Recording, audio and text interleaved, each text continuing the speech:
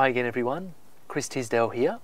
In this presentation I'm going to uh, talk about how to solve PDEs with constant coefficients via a change of variables or change of coordinates.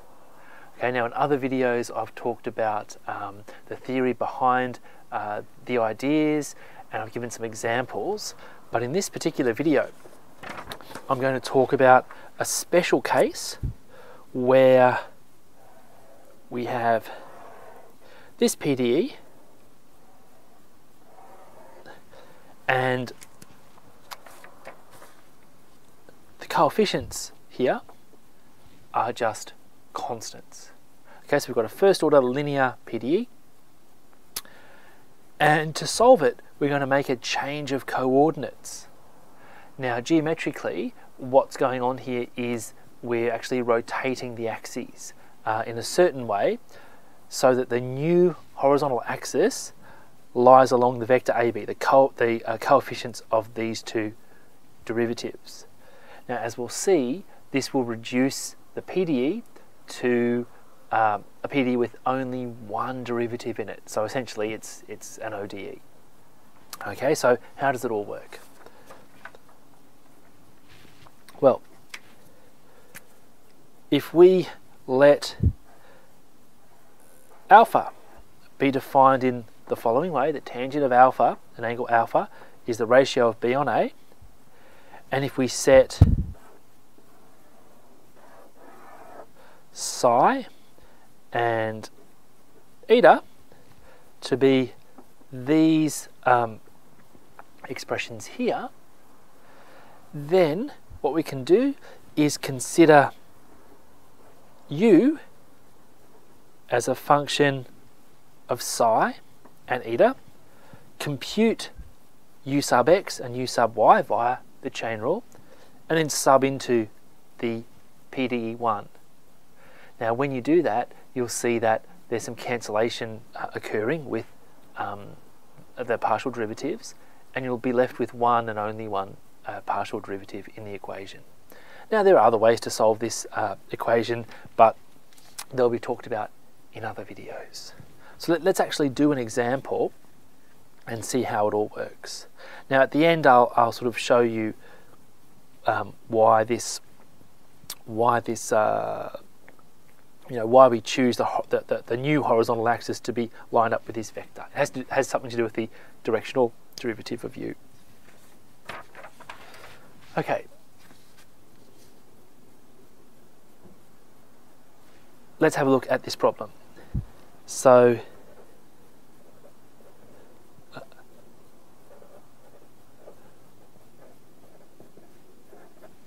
here the coefficients are all constants.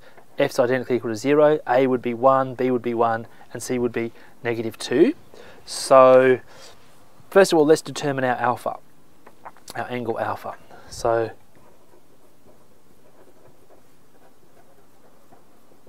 Okay, B on A, just 1 over 1. So, so alpha will be pi on 4. Okay, so once we've established alpha, we can calculate cosine alpha, sine alpha, and write down our new uh, coordinates or our new variables, psi and uh, eta. Okay, so if alpha is uh, pi on 4, cosine of alpha will be 1 on root 2, and so will sine of alpha. So it's pretty easy to work out our, our representations here. So this will be 1 on root 2, 1 on root 2, 1 on root 2, 1 on root 2. So if I combine that into the following, I now have my new coordinates or new variables. Okay, so let's now consider u as a function of these new variables.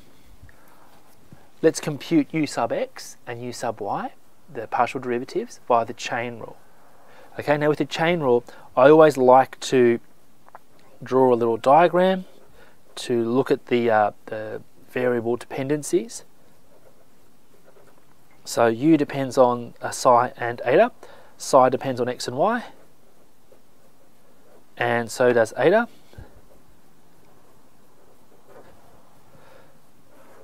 And we can use this little diagram to uh, establish our chain rule.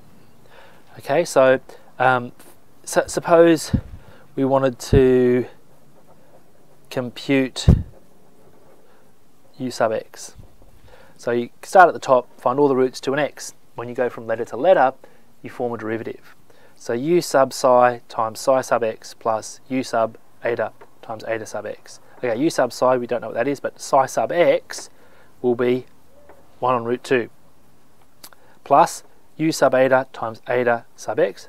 Eta sub x is negative 1 on root 2. So if I combine those, I'll get the following. Now let's work out u sub y. So work all the all the paths down to a y. u sub psi times psi sub y plus u sub eta times eta sub y. Okay, so psi sub y will be 1 on root 2, eta sub y will be 1 on root 2, so we'll get the following. Okay, let's sub back now into our starred PDE. And this is where the magic happens because you should get some cancellation going on.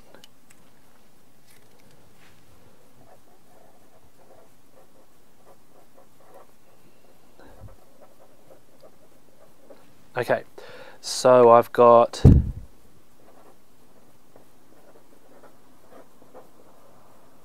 following.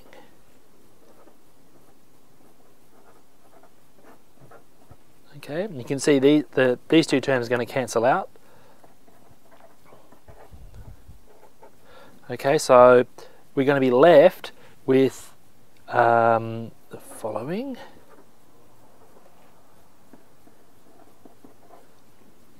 Okay, so you can see now in the new variables or the new coordinates, we've reduced the original PDE with two partial derivatives down to a PDE with one partial derivative. So we've simplified things. And that's generally the aim when you make a change of variables or change of coordinates. You want to take something uh, that's difficult and transform it to something that's simpler and solvable.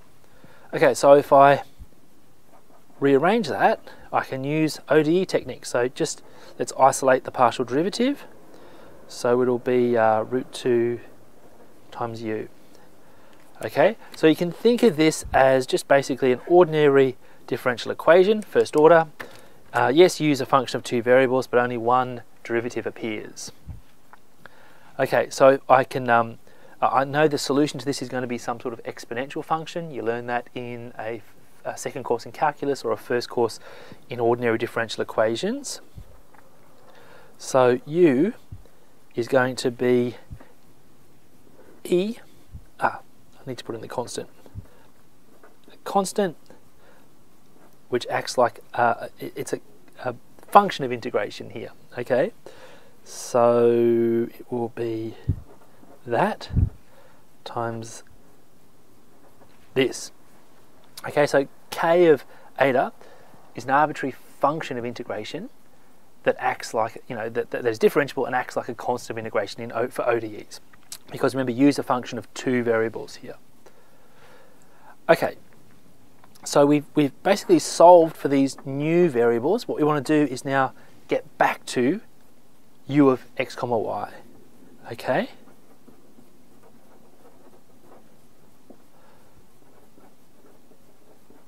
Okay, so let's replace eta with this and psi with this. So let's just make this a little cleaner. Okay, so when I have a root 2 here multiplying by this, the root 2 is going to cancel and I get the following. And I'll just make a little note about this function k.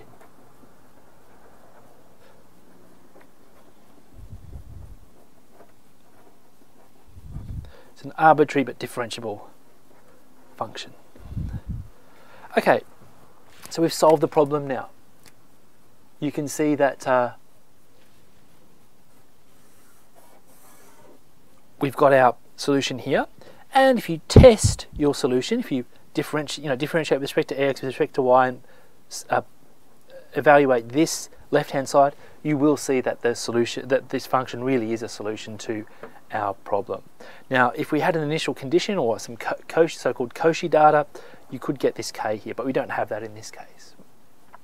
Now, if you get down to here and you've still got two derivatives in your equation, then you've probably made a mistake.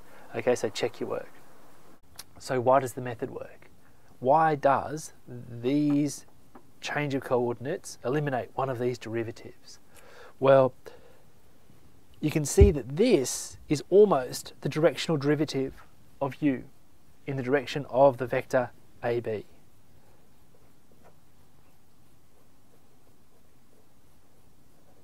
Okay, these two terms are almost uh, the directional derivative. If I divided this by root a squared plus b squared, then it would be the actual directional derivative. So if I divide everything through by that, uh, through by that, I can write the following. And if, uh, by the way, this is a, a unit vector in the direction of the vector AB. Now, if my new, a new, say, horizontal axis lies along the vector AB, then this directional derivative is being taken in a direction that is parallel to a coordinate axis. That means that this has one and only one partial derivative in it.